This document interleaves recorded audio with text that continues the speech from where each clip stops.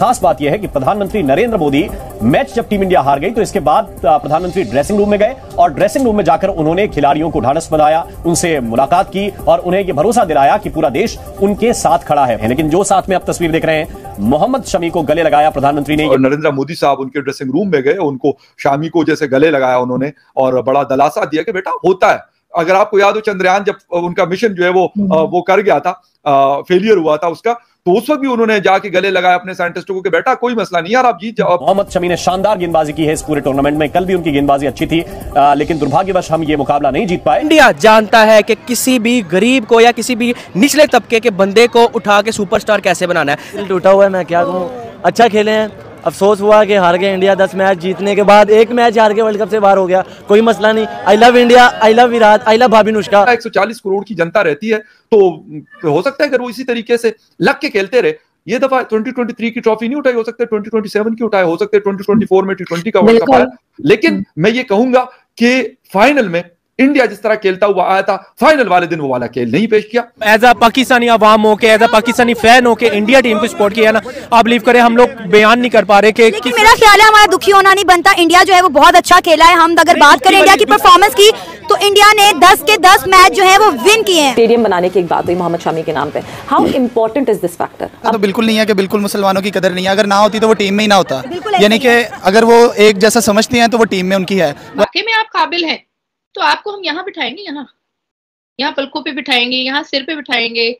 लेकिन आपको काबिल होना पड़ेगा। जय हिंद दोस्तों। तो दोस्तों, आपने कल देखा कि किस तरह से भारतीय टीम का ही नहीं बल 140 करोड़ जनता का वर्ल्ड कप जीतने का सपना टूट गया, जिसके बाद सभी प्लेयर काफ़ी ज़्यादा इमोशनल हो गए थे। वहीं आपको बता दें कि जब सभी प्लेयर ड्रेसिंग रूम में मौजूद थे, उस समय भारतीय प्रधानमंत्री श्री नरेंद्र मोदी जी ने उन प्लेयरों का हौसला बढ़ाया, जिसके बाद मोहम्मद समी ने मोदी जी के गले लगकर इमोशनल हो गए थे और रो रहे थे, जिसको देखकर सभी लोग सॉक्ड हो गए कि मतलब भारत का सपना था कि इस बार का वर्ल्ड कप चैंपियन बनेगा लेकिन भारत का सपना सपना ही रह गया। लास्ट इंडिया का जो सेकंड लास्ट मैच था मोहम्मद शामी ने सात विकेटें लेकर वन साइडेड इंडिया को ये मैच जितवाया जिस पर इंडिया के एक स्टेट के सीएम है योगी जी उन्होंने अनाउंसमेंट किया कि मोहम्मद शामी के नाम का वो भारत के अंदर अपने स्टेट में स्टेडियम बनाने जा रहे हैं। तो एज अ मुस्लिम हमारे लिए कितनी काबिल फखर बात है। देखिए एज अ मुस्लिम तो मैं बाद में बात करूँगा लेकिन इससे पहले मैं आपको एक बात बताना चाहता हूँ।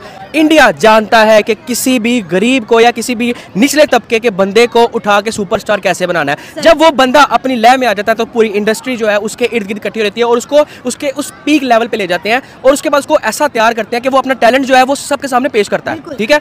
इसी तरह ही मोहम्मद शमी के साथ हुआ है। दो साल बाहर रहने के बाद जैसे मोहम्मद शमी ने स्ट्रगल किया है अपने घर में चार तरह की पिचेस बनाकर बीच में क्रैक्स पड़वाकर जैसे उस बंदे ने स्ट्रगल किया और जैसे उसने अपनी बॉलिंग को स्ट्रॉन्ग किया है। बिलीव मी बिलीव मी ऐसा सदियों में सेंचुरीज में एक या दो बार होता है बार बार नहीं होता। हम कहते थे हम नंबर वन बॉलर्स हैं हम नंबर वन बॉलर्स हैं। डेढ़ महीने में पता लग गया कौन कितने पानी में है। मोदी साहब उनके ड्रेसिंग रूम में गए उनको शामी को जैसे गले लगाया उन्होंने और बड़ा दलासा दिया कि बेटा होता है। अगर आपको याद हो चंद्रयान जब उनका मिशन जो है वो हम्म। वो कर गया था फेलियर हुआ था उसका तो उस वक्त भी उन्होंने जाके गले लगाया अपने साइंटिस्टों को कि बेटा कोई मसला नहीं यार आप जीत जाओ। दोबारा से आप अपने मिशन भेजोगे और आपका मिशन सक्सेसफुली जाएगा। 2023 में हमने देखा ना अगस्त में और वो मिशन ट्वेंटी अगस्त को उतरा। चाँद के ऊपर। और उस जगह उतरा जहाँ पे आज तक किसी ने अपना मिशन उतारा ही नहीं है, किसी दुनिया की ताकत ने नहीं उतारा। तो इसी तरीके से इंडिया दो दफ़ा इससे पहले वर्ल्ड चैंपियन रह चुका है। अच्छी क्रिकेट इन्होंने 2023 में भी खेली। और आइंदा भी उनके पास ये कोई खत्म होने वाला सिलसिला तो है नहीं। उनके यंगस्टर आएँगे, बेशक विराट कोहली द किंग कोहली हो सकता है कि वो वनडे क्रिकेट से रिटायरमेंट ले ले। हम उनको बड़ा मिस करेंगे। रोहित शर्मा ले ले। हम उनको बड़ा मिस करेंगे। लेकिन बाकी यंगस्टर आएँगे, शामी आएगा सिराज आएगा, बुमराह आएगा, शुभमन गिल आएगा श्रेयास आएगा। के राहुल लीड करेगा मतलब चलता रहेगा ये सिलसिला 140 करोड़ की जनता रहती है तो हो सकता है अगर वो इसी तरीके से लग के खेलते रहे। ये दफ़ा 2023 की ट्रॉफी नहीं उठाई हो सकता है 2027 की उठाए हो सकते हैं 2024 में टी का वर्ल्ड कप आया। लेकिन मैं ये कहूँगा कि फाइनल में इंडिया जिस तरह खेलता हुआ आया था फाइनल वाले दिन वो वाला खेल नहीं पेश किया। और ये सबसे मेरे ख्याल सबको पता चल गया फील्डिंग में भी उनसे हुआ और फिर बॉलिंग में भी वो जल्दी आउट नहीं कर सकता मीडिया इंडियन टीम इंडियन जो पूरी स्पॉन्सर्ड है, वो ये समझती है कि हमने किस टाइम किस प्लेयर को कैसे यूटिलाइज करना है। एक रिज़र्व किया हुआ बंदा। अगर आप वर्ल्ड कप से पहले चले जाए, हार्दिक पांड्या अगर इंजर्ड ना होता तो शमी का किसी को भी नहीं पता था कि क्या शामी इसमें अंदर आता भी क्या टाटा बाय बाय लेकिन जिस तरह उसने आके कम बैक किया है मेरे ख्याल से एक तो डिस्ट्रिक्ट इसके पूरे नाम का बनना चाहिए ना कि सिर्फ़ स्टेडियम सही बात है सही बात है। शमी की मिसाल पता कैसी है? शमी की मिसाल ऐसी है जैसे वो हारिस रऊफ का सिक्का चमका था ना डेल स्टेन बाहर हुए थे और वहाँ से हारिस रऊफ को इन किया गया था। उसके बाद से आज तक हारिस रऊफ हारिस रऊफ होती आ रही है। वो अलग बात है हमारा हीरो है वर्ल्ड कप में नहीं परफॉर्म कर सका तो क्या जान से मार दें या हीरो ना माने उसको ऐसा तो ऐसा है कि हम लोगों ने हमेशा एक चीज़ अपने दिमागों में बिठाई है बल्कि हमने नहीं हमारे मीडिया की जानब से, हमारे बड़ों की जानब से, हमारे सियासतदानों की जानब से कहा गया है कि हिंदू और मुस्लिम में बहुत नफरत है ये एक दूसरे से प्यार, मोहब्बत नहीं करते, बड़ी खार खाते और खासकर अगर हम बात करें हिंदुस्तान में रहने वाले मुसलमानों की तो वो वहाँ पर महफूज नहीं है, उनको उनके राइट्स नहीं मिलते, उनको मजहबी आज़ादी हासिल नहीं है। तो अब आप क्या कहेंगे? किसी भी मुल्क में किसी भी चीज़ के राइट्स उनको ना मिले। ठीक है तो वो जाएँगे। और ऐसी इंडिया में लेकिन इंडिया में एक खसूस मुसलमान का एरिया है जहाँ पे मुस्लिम रहते हैं और ऑल ओवर द उनके नेशन में फैले हुए हैं। तो इसलिए हमें भी चाहिए कि इंडियन को सपोर्ट करें। हम ये नहीं कहते कि हम इंडियन को सपोर्ट नहीं करेंगे। और आज जैसे कि वर्ल्ड कप चल रहा है तो हम इंडिया को सपोर्ट कर रहे हैं कि एशिया कप में ट्रॉफी आए। ना कि वो एशिया में आए, एशिया एशिया में। एशिया में ट्रॉफी आए ना कि वो ऑस्ट्रेलिया में जाए। लेकिन देखते हैं क्या बनता है। बाकी लव यू इंडिया और एज अ पाकिस्तानी हम भी उनसे लव करते हैं वो भी हमारे साथ लव करें तो बहुत अच्छा होगा। मोहम्मद शामी की परफॉर्मेंस पर आप क्या कहना चाहेंगे? डेफिनेटली उनके एजाज में एक स्टेडियम बनने जा रहा है तो अगर हम इस पूरे वर्ल्ड कप का जायजा लें तो आपने कैसी कारकर्दगी पाई उनकी as a Indian Muslim ma'am देखें मैं तो ये कहना चाहूँगा कि जैसे मैंने आपको पहले भी ये बात की है कि ऐसी परफॉर्मेंसेस सेंचुरी में एक या दो दफ़ा होती हैं बार बार नहीं होती हैं ठीक है? एक बंदा आके पूरी की पूरी टीम खा गया आपकी। ठीक है? है। सात विकेट्स ले गया ये कोई मामूली बात नहीं है। ये बहुत बड़ी बात है। अब तक किसने सात विकेट ली हैं? वर्ल्ड कप में। किसी ने भी नहीं। किसी ने भी कहा जाता है काटी मामा ने जमने ऐसे पुत्र है क्योंकि शमी जिस तरह इस वर्ल्ड कप में इंडिया के लिए रीढ़ की हड्डी साबित हो गया है ये इंडिया खुद भी एक्सपेक्ट नहीं कर रहा था कि लाइक इंडिया जिस तरीके से दस में से दस मैचेस जीत गया हुआ था। उम्मीद तो यही थी कि इंडिया इजीली जीत जाएगा। लाइक उनकी बैटिंग बॉलिंग बहुत फॉर्म में थी पर खैर बैड लक किस्मत जिसका साथ दे जाए। इंडिया ने पूरे जीजा लगाए, खेला जब इंडिया के तीन आउट हो गए थे सॉरी ऑस्ट्रेलिया के। यही लग रहा था कि शायद सौ डेढ़ सौ पे इंडिया पकड़ लेगा, शामी फिर से वही फॉर्म में आएगा, बुमराह विकेट लेगा, पर नहीं ऑस्ट्रेलिया वालों ने माइंड गेम खेला है। सिक्स लगाए नहीं है सिंगल डबल किया है, चौके छिके लगाए हैं। इसी तरह चेता लाइक एक अच्छी गेम देखने को मिली हमें इंडिया की तरफ़ से। हम ये आप भूल जाए कि इंडिया वर्ल्ड कप जीता है, हर है। इंडिया की तरफ़ से वर्ल्ड कप जीत गया हुआ है अपने मुल्क के अंदर। जैसे जैसे वो टीमों को हराता रहा है यार अमेजिंग यार। मैं और हम दोनों लाइक बड़ी प्लानिंग की हुई थी, हमने इंडिया की जीत की। आप कुछ कहना चाहेंगे यार इसके ऊपर? मेरा तो दिल टूटा हुआ है, मैं क्या कहूँ?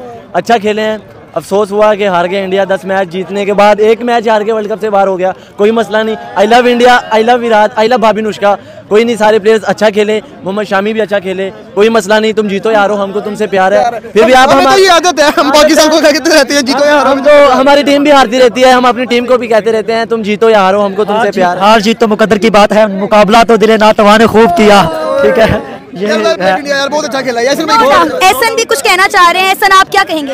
यार फ़र्स्ट ऑफ़ ऑल ना मैं पहले ऑस्ट्रेलिया को कॉन्ग्रेचुलेशन बोलना चाहूँगा ठीक है ना? जो भी है अच्छा खेली है ठीक है ना? उन्होंने दो मैच हरने के बाद फाइनल में जगह बनाई बट इंडिया ने अपने थ्रू आउट दस के दस मैच जैसे विन किया था ना एक्सेप्ट यही था हमें यकीन था कि इंडिया आज का भी मैच जीतेगा। बट ये है कि उनके उनके थोड़ी सी आज बॉलिंग ने ना आज साथ नहीं दी यार जैसा कि आपने वीडियो में देखा कि किस तरह से सभी लोग भारत की प्रशंसा कर रहे हैं कि भारत इतनी अच्छा खेल रही थी। लेकिन लास्ट में ऐसा क्या हो गया कि भारत फाइनल नहीं जीत पाया? वहीं आपको बता दें कि 2003 में यही कंडीशन हुआ था कि भारत और ऑस्ट्रेलिया का फाइनल हो रहा था। लेकिन उस समय भी हम नहीं जीत पाए। और एक बार फिर से 2023 में हमारा वर्ल्ड कप जीतने का सपना पूरी तरीके से टूट गया। और जिस तरह से कल ऑस्ट्रेलिया ने पूरी तरीके से भारतीय टीम के मतलब आउट कर दिया इस वर्ल्ड कप से। और जिस तरह से कल भारतीय टीम ने प्रदर्शन दिखाया, हम उस पर बात नहीं करना चाहते, क्योंकि भारतीय लोग काफ़ी ज़्यादा मतलब अपने प्लेयरों को लेकर गुस्सा है। लेकिन आपको बता दें कि जिस तरह से कल भार, भारतीय प्रधानमंत्री श्री नरेंद्र मोदी जी ने सभी प्लेयरों को काफ़ी ज़्यादा अप्रिसिएट किए और मोहम्मद शमी ने मोदी जी के गले रखकर रोने लगे, जिसके बाद सभी लोग सॉक्ड हो गए कि मतलब एक ऐसा प्लेयर जो काफ़ी अच्छा प्रदर्शन किया पूरे वर्ल्ड कप में। लेकिन थोड़ी चूक होने के कारण हम इसको मुकाबले को नहीं जीत पाए और हमारा वर्ल्ड कप का सपना नहीं पूरा हो पाया। लेकिन आपको बता दें कि जिस तरह से भारतीय टीम ने प्रदर्शन दिखाया है, इस ओडीआई वर्ल्ड कप में उसको अप्रिसिएट करना चाहिए। क्योंकि मतलब नॉन स्टॉप दस मैच में दस मैच जीते थे, लेकिन फाइनल भले ही ना जीत पाए हो, लेकिन मतलब ऑस्ट्रेलिया ने अच्छा खेला, इस वजह से उसने जीत लिया। लेकिन भारत को ये मतलब वर्ल्ड कप जीतना चाहिए था। लेकिन आपको बता दें कि 2011 के बाद हमारा यही सपना था कि हमारे वहाँ वर्ल्ड कप हो रहा है और हम जीत जाएँगे, लेकिन ऐसा नहीं हो पाया और ऑस्ट्रेलिया ने हमें हरा दिया। वहीं आपको बता दें कि सभी प्लेयरों ने काफ़ी अच्छा प्रदर्शन दिखाया, लेकिन भले ही थोड़े चूक के कारण हम हार गए, लेकिन वर्ल्ड कप का सपना हमारा सपना ही रह गया। वहीं आपको बता दें कि जिसको लेकर पाकिस्तानी मीडिया भी काफ़ी ज़्यादा डिसअपॉइंटेड है कि भारत को जीतना चाहिए था।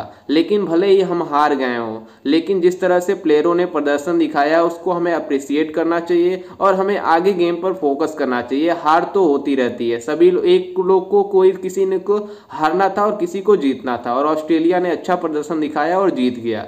खैर, इस पर आपकी क्या राय है और आपको क्या लगता है कि भारत को जीतने चाहिए या नहीं? खैर इस पर आपकी क्या राय है और आप खैर खैर इस पर आपकी क्या राय है और आपको कैसा लगा मोहम्मद शमी का भारतीय प्रधानमंत्री नरेंद्र मोदी जी के सामने मिलते हुए देखकर? हमें अपनी राय कमेंट में ज़रूर दीजिएगा और साथ ही हमारे चैनल को भी सब्सक्राइब ज़रूर कीजिएगा। मिलते हैं किसी अन्य वीडियो में, तब तक के लिए जय हिंद बंदे मातरम।